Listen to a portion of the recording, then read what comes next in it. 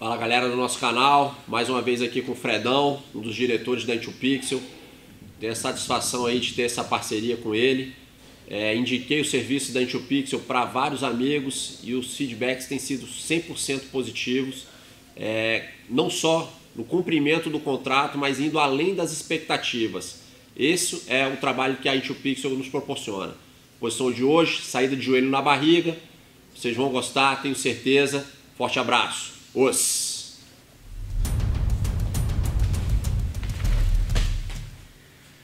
Bom, Fredão aqui botou o joelho na barriga, tá fazendo aquela pressão. Ganho a bola dele lá, não fico muito tempo com meu braço esticado.